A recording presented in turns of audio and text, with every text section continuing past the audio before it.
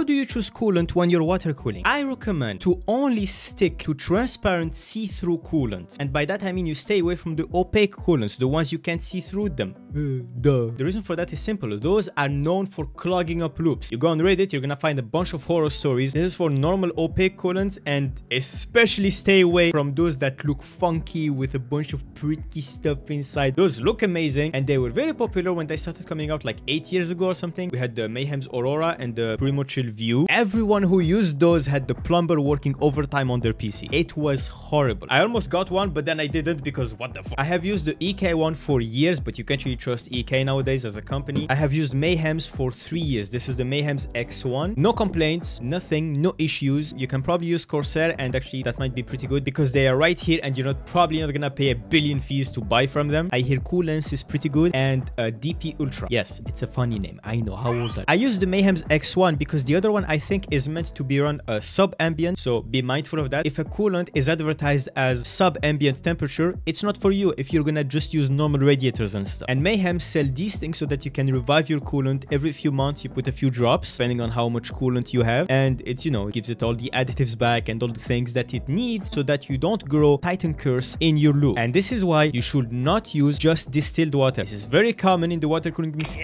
Industry is scamming us. I only use distilled water, yeah. Don't do that. Because yes, distilled water is pure water. It's not conductive, at least at first. But your blocks, your radiators, none of that is pure anyway. It's shit is going to happen if you only use distilled water and nothing else. I've even seen people say to use tap water. What the fuck is wrong with you? Some people, they like to get distilled water and just add the additives themselves. Maybe that way they save money. That's also fine. As long as your coolant has the necessary additives, that's okay.